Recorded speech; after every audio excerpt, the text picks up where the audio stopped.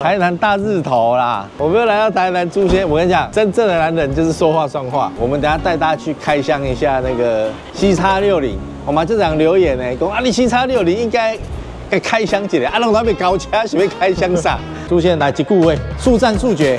我现在等不及要开箱六零了啦。在旁边有没有？好处理。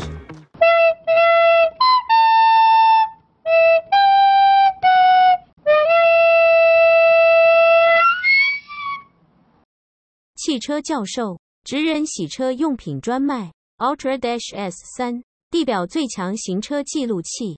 Hello，大家好，欢迎到这一期的老师推车台南 SP，对吧？SP 嘛，Special 啊。第一次看到我们在这个停车场，这个做推车 C 叉六零，我们的台南朱大哥，好要托他的福，他交新车 CRV 卖给我们，所以呢，我们就在台南，哇，你看欧系藏经阁二馆这么美的一个环境，跟大家第一时间分享西叉六零。它这个是两千五百 CC 的中间的等级啦，哈，它有三个等级，一个是 Elite 嘛，一一八点九，还有一个是 Elite 的 Plus，就今天这台定价是一二九点九，然后再上去就是二五 S 的 AWD，就是一三九点九，哦，到大概十万十万十万，然后再往上就变成三千三了，一百七十一万起跳了。如果是三三 T 的，一律都是四轮传动了。比较难得是，我刚刚有问朱先为什么会买这个，他说，嗯，他前一台车 CRV 已经四轮驱动了，而且他觉得说他这一次呢，想要选看看这个后轮驱动试看看，重置引擎后轮驱动，他想说，哎，四轮驱动也开过好几台了。他刚刚讲说他之前开过好多车，叉 C 九十、R 叉四五零 H，所以他这次换换口味，塞几辆奥桑哎，，C 叉六零，带大家看一下车头啊。这个应该也是他家属的水箱护罩，可是他这个中间的眼头啊，有开眼头，哦，它多一条哎，对啊，开眼头啊，他眼睛变小了，但是开眼头，哎，很奇怪呢。那我让他盖，啊，不是越大越好吗？车头灯四颗，四颗吗？哦，四颗，有两颗竟然藏在水箱护罩。好，啊旁边有两个进气的气坝。啊，这边的设计就比较特殊了，less is more，少即是多。空即是色，色即空啊，狗不拉屎，屎不拉狗 啊。之前的一个做法，这边都会做网子嘛，所以它就少了配件，直接用这个美学把它抹过去。Less is more。这个下巴的地方防刮材质啊，来接看侧面，这应该是枪色吧，小枪。对，没有到没有那么深呐、它大概比银色会再深一点点啊。然后是这个二三五五零二十的铝圈，哎，我看一下，应该没有前后配吧？二三五五零六二十一样。啊，前后都是一样的。那侧边呢有一个饰板，这个饰板是没有用的，它的那个洞是没有效果的。好，它就是一个装饰的作用。后照镜、方向灯只有小小的在这边。好，盲点在镜片上的一个三角形。哎，你看这侧面真的很简洁哦。你看哦，它的折线只有最底下跟上面这个圆弧形，整个过来带过来都是一样的。好，所以它的腰线是平水平的，有些腰线带斜的嘛，有些是他妈来这边讲，喂、哇，昨天法国车熊爱那样哇，来这样哇，该救起来，哎，你来送三小朋友啊，好，它就整个就是平的。但是我跟你讲，这样做一个坏处，就是钣金容易震动啊，除非它要做的，它里面的那个内骨钢梁要做的很扎实，要不然很容易会有钣金震动。不过还不错，没有我想象中的虚。然后它的这个防刮的材质啊非常少，好，如果比起它以前的 C 叉五、C 叉三来讲的话，防刮材质其实比例算是有降低了，一样只有在下缘的地方哦有这个防刮材质的修饰，其他后灯。哎，怎么有一点点像叉系列啊？B N W 叉系列，叉系列后面是一根钥匙，哦，对，这有点像嘛，这一只钥匙这样过来嘛。叉系列是两只钥匙，然后尖头对尖头这样嘛。然后现在新的那个 E Class 的尾灯是消波块嘛，哎，对，啊，你看看黑，嘿，你看黑示意图，观众都知道我在讲什么了。那个就是适合海线的人买嘛。就其实现在灯好像，除非你做的特别啦，原本的设计思维本来就是要突破是很难的一件事情，冲过去就冲过去，冲不过去就就很难看了。所以它这个就是有熏黑的跟红黑色，哦，也有点类似现在 Lexus 很常用的那种配色，红黑配色、GR 配色，就大概都是这样。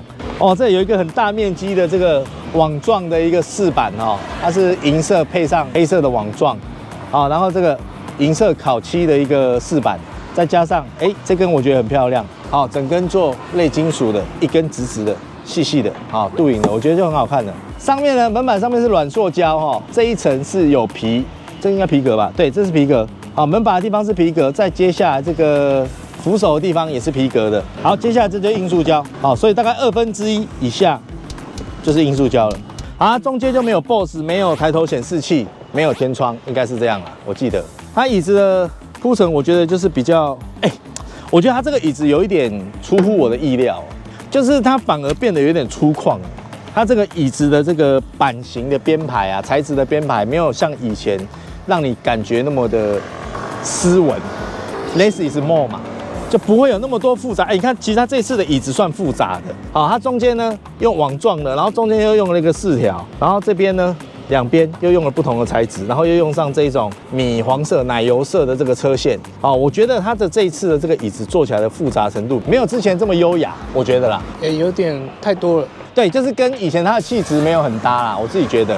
好，那皮革摸起来部分真皮吧，应该应该是中间这一块是真皮，我自己感觉起来是这样。然后电动椅还有含腰靠，腰靠只有前后没有高低，好，它凸出来顶到你哪里就是顶哪里。像阿呆可能顶到胸部凸出来没有那么矮啊，没那么矮是不是？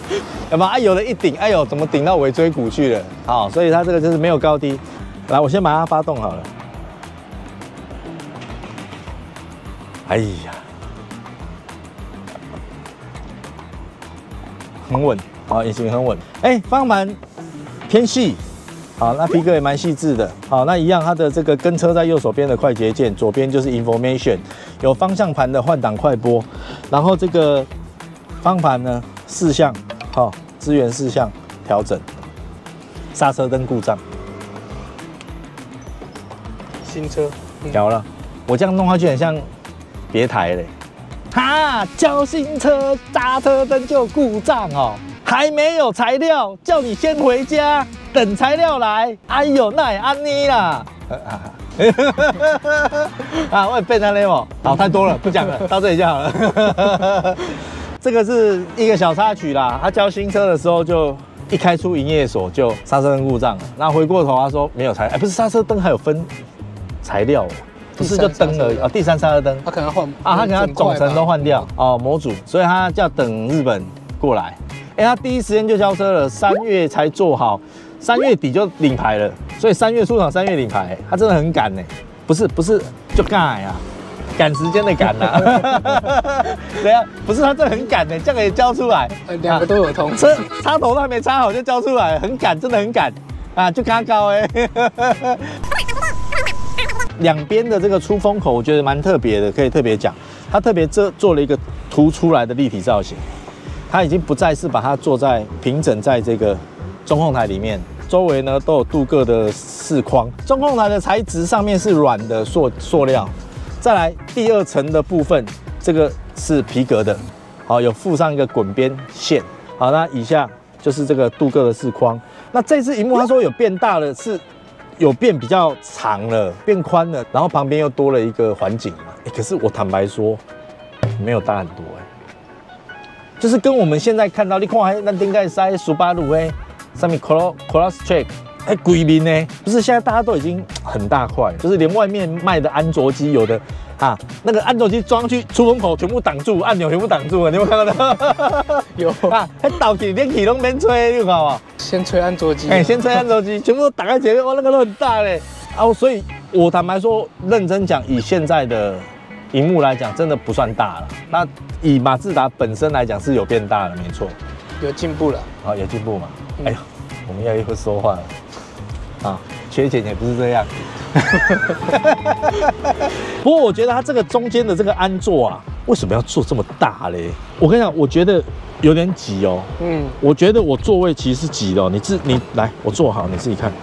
你从上下，我我我是局促的，你看我的手都要放到，哎、我的手已经放到中间来了，我这样子就变憋了，你自己看。我手如果要放回来是憋憋的，对啊，我放这样是稍微憋，但我轻松放应该是这样，中间盘感都是，这是我我我的角度啦。所以它这个因为这个我不、啊、传动轴，它重置引擎再接传动轴到后面，这那个迷胸应该很长。好，我觉得这这个是特别宽呐、宽的有点夸张。教节无线充电跟一个点烟器，上面是双区的恒温空调的控制键哈。那这一次的冷气出风口坐在比较低的，相对比较低的位置，就在这冷气控制键上方。那拨杆，哦，拨杆它只有下而已。哦，对，它只有按的功能。它没有往上。哎，它没有往上的功能，这就是往下、往下、往下，好，往下，它不是那样拨的。好，那阻尼感还不错，蛮有质感的。只是我会忍不住想要这样子啊，因为就看起来就很想拨它，看起来是很像很像是可以上下拨的东西。好，再来后面这个有 MI Drive 的模式哦，Sport，好，仪表板就会变成红色，Normal 仪表板就会变成灰色，哎，就两个模式而已啊。这个没有 Eco，Eco 没有。好，排挡杆呢做的是哎小丸子，我又帮他取一个名字，小丸子，小丸子，好，很像法髻嘛。哦，对。好，很像那个法髻，嗯，哇，然后是按钮是在前端，哎，往右拨，哦，它是这样子哦，所以它是这样子的，好，往上。啊，P 是从 R 档按按钮打过来，哎，这些不太人体工学，你都开始行没习惯，对哈，你又回了 R 档，对你你要你要停车，你看我现在第一档，假设我我停车现在前进，好，我抢好位置，我要去 P 的话，我必须要。先进到 R 档，你倒车灯亮了，再往左打。以前是这样上去吗？或者是按按钮啊？哎，有个 P 按下去就好了。对啊。现在比较多是做一个按钮就好了。好啊，这个有点不就手，这不算撩吧？真的不就手了，这要习惯一下，没有那么直觉啦。因为依照以前的用车习惯，就变得稍微没那么直觉。有 Auto Hold 跟电子手刹车跟这个啊，就包括用转盘哦。哎，那这个荧幕可以触控吗？哎，没有触碰哦。现在不行哎。哇哇！所以它只是放大而已，被割掉了。国外有哦，国外有，阉割掉哦，一律都没有了，好不好？哦，不过 Apple 它不会跟你做 Auto。好，然后这里有两个自备架，好，然后中间就一个双开，双开的双扶手。好，皮革摸起来也是蛮不错的。好，手套箱我看一下。好，很很单一般的手套箱，不过里面有植绒毛。然后下来有阻抗杆，然后再来一个就是它是米色屋顶的。看后座吧，我先瞧一下。拍谁哦？朱大哥，我要调节啊。AD 这有记忆吗？哦，底架哦，两组记忆在这。我觉得我开车应该是会是这样。好，那我们来看一下后面的大小。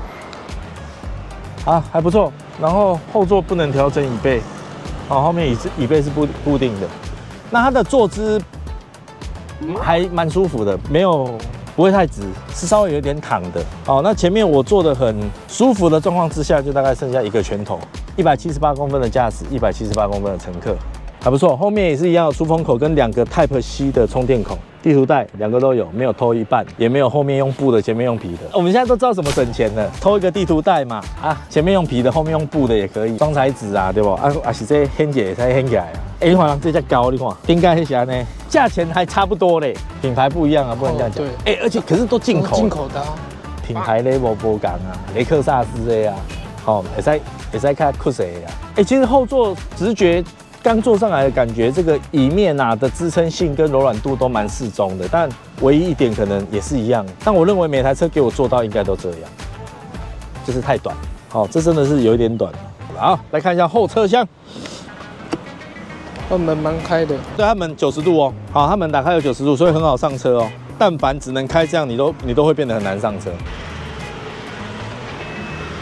哎，蛮灵敏的呢，我随便踢一下呢。哎，有的还跟你说你要在哪里，好，稍微踢进去啊，不能踢太久啊，不能这样啊，速度不能太快啊，桥规波啊，那第一次总是要桥比较久，好，怎样？堪用哦，不过它这有快速倾倒的把手在这里，它这一拉椅背就会直接躺，但是凳来都要给你可以凳来啊。好，那下面一样有一个置物盒，保利龙。哦，应该是为了要平整化，所以把它垫高了，然后里面就可以放一些反光牌啊，现在应该都补胎剂了吧？哦，补胎剂在里面，啊，然后后面全部都是绒毛的，好，这边都是长绒毛哦，这都长绒毛，哎，不错，它没有没有偷偷工减料，后面都长绒毛，有啦，一个就是这个垫子，这个垫子现在用这种卡垫，就是帆布型的，这就省比较省了，比一块板子还省钱。哎，还不错，空间我觉得算表现合理啦。好，那它应该是平的啦。我稍微倒倒这边，它这个坐垫这么高，我相信它应该是要让它平。对啊，好啦，那今天不要耽误这个朱大哥太久，他今天带我们下午去吃了一轮，说等一下还有第二拖要去吃，说他都订好了。好，我们赶快上路去简单绕一圈试驾，不要浪费时间，出发走。Avir 环保生活科技领导品牌，发艺金库，世界无敌大美女徐海丽。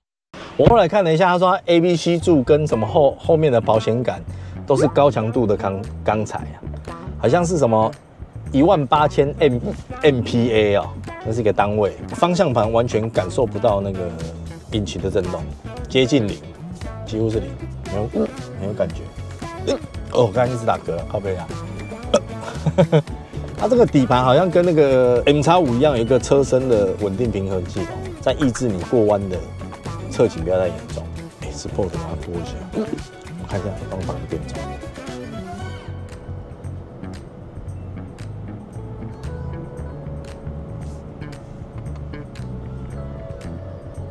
哦，有方向盘的间隙不太一样。你如果把它开到 Sport 的话，方向盘的反应比较灵敏，底盘的反应比较灵敏。不过我觉得它在底盘做的还不错哦，就是它过坑洞的时候，你虽然知道有坑洞，但是你车身是稳定的，你不会有过多的摇晃、摇晃跟弹跳。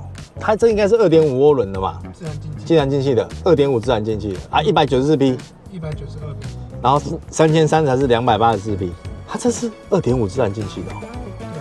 我觉得油门反应踩起来还蛮顺畅，蛮加速还蛮快，就是不觉得说这个车子很重很重的感觉。但确实，你现在车头看去，其实它的车头超宽超长，已经算是大型修旅车的那个感觉，像是大型修旅车的 size。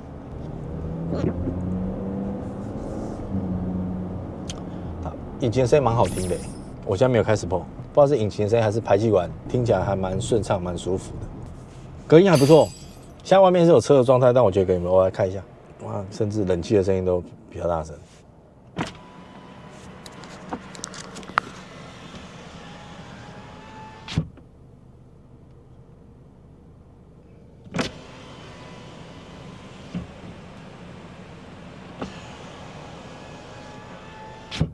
啊，气密性做得还可以啊。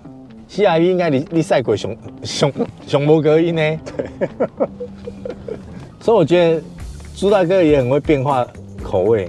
叉 C 我觉得他都哦很跳，R 叉 Lexus 也开过，五二零也开开过，叉 C 九零也开过，CRV 现在 C 叉六零。你安尼换这台车，你干嘛？你干嘛对一台车你赛起来较较会哈，还是较介意？你那春开应该是比零的较好开，哦，你干嘛比你较好开？春开。认真讲，我那我感觉应该是 CRV 开起来较轻松，因为没有压力。对，迄个车都啊差差咧，都都较差咧。对啊，对啊，对啊，对啊。啊，无油都较加，时间搞去保养，哎，真正是真好的一台代步车啦。对。啊，等到你即马叫你搁赛新车，你是爱你过来啊？对啊，还奥多拜钻来钻去的哦。啊，你要去倒，你要想好车停都较安全。对对对。其实我驶到尾啊吼，我嘛是较介意驶古车，驶伤新的吼，心理压力就大啊。其实认真说起来，我干嘛？它开价一百二十九万不算贵，真的不贵。以配备来说，第二个是以它是进口的，你把它回回退六十趴的关税掉，它才卖你多少钱。好，所以马自达一直用这样的一个策略哦，它的一个质感啊，好给你的配备啊。那当然，我觉得啦，你当然你要买更新高科技，你要买三三 T 嘛，对。但是如果你一样花在一百二十多万买一台 C 叉六零这样子的一个格局，哎，不过这马自达真的很很会把很大的车室内空间做的稍微局促一点。其实这前座真的有稍显局促。跟他以前那种马三 C 叉三打白龙港换，他如果是一个装潢设计公司，他就把你室内弄得很多他妈弯弯翘翘，天花板帮你保做了很多造景，结果呢压缩到你的空间，你居住的空间，啊沙发也用很大做很漂亮，这样整个都压缩你的居住空间。好，不过整体来讲，我觉得以它这个价钱呐、啊，我是觉得 CP 值还不错啊。然后它自然进气的话，稍微可惜啊，如果我以为如果有二点五涡轮。他他老是喜欢用那种二五三三这种台湾人最讨厌的税金，超过。对啊，奇怪了，你还不如二点零加油涡轮就好，你不卖爆嘛？应该成本不会比这个二五的重置还贵嘛？那你也差不多卖一百二左右，就很好卖啦。台湾人很简单，为什么你们都不理台湾人的感受呢？啊，你不觉得台湾人很简单吗？我看安怎晒配备来啊，没有胸啊，有人买啊，哈，就简单的呀，CP 值啊。哎，以前那个水饺有时候一颗一块，哇，大家排队抢买到爆，一次都买一一百颗、两百颗、五百颗再买的，一颗水饺一块钱，里面包什么肉啊？你有没有想过这个问题呀？江西人，哦。那整体试起来呢，我觉得就是一个开起来是中规中矩的啦。那你要说它底盘非常的好吗？我觉得是高于我预想的表现呐，就是以它的舒适度来说，啊，过坑洞啊、转弯的舒适度，我觉得高过于我想象中的表现，还算蛮稳重的。那加速度呢？你说它非常快没有，但是它是一个非常顺畅的一个曲线啊，那也不至于会让你觉得。不够用，或者是说，哎，有气无力。整体来说，内装的质感就承袭了它以前的风格。当然，有一些地方我是觉得跟以前的风格有一点落差了。豆碗啊，嗯，就例如说像这个比较大、比较粗颗粒的这种皮，觉得以在以前的马自达比较少用这么粗犷的皮革。对它，它应该都是相对要像这种细致的。我的印象中，它用料都是要用这种细致的。对，椅子也是。所以它这次的椅子也变得比较稍微比以前觉得感觉来的稍微粗犷一点点。这个是我这一次觉得看到这个 C 叉六零最大的一个感觉啦。那事实上像剩下的这些方向盘，我觉得变化的幅度不是很大哦。它好像有加入了一些新的科技配备嘛，应该是它的镜头是比较宽的，有侧方车流的那个警示的安全系统，它可以侦测到更大的范围。好，大家讲好了。那今天也非常谢谢朱大哥给我们这个机会哦，第一次在台南开箱一台 C 叉六零哦，这个赞。所以我说人哦，就是靠缘分，不要强求，对不对？这个强摘的果子不甜，对不对？自己送上门的，绝对是仙人跳。啊，好了，那这个下次见。那订阅留言分享开小铃铛，拜拜。谢谢朱大哥一下啦，好不好？I get the money and it's right on cue. Keep the duffel bag up inside my coupe. Hold a couple racks, tell them I love you. You wanna be a boss, do it like I do. Uh, yeah.